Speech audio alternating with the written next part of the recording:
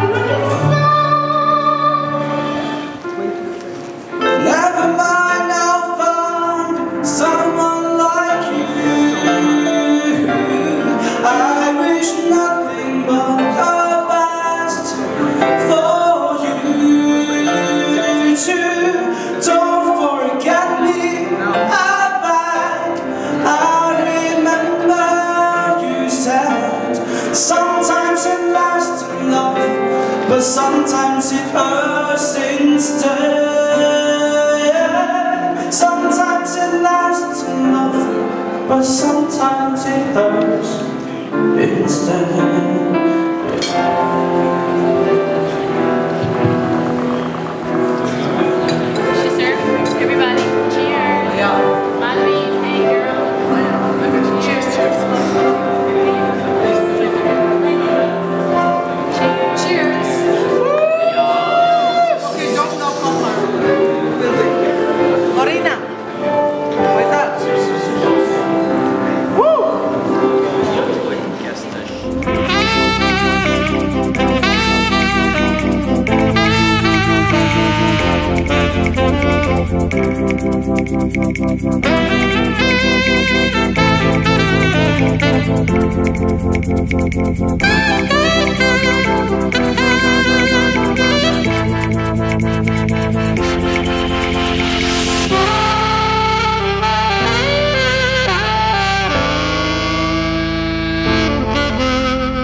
Save me.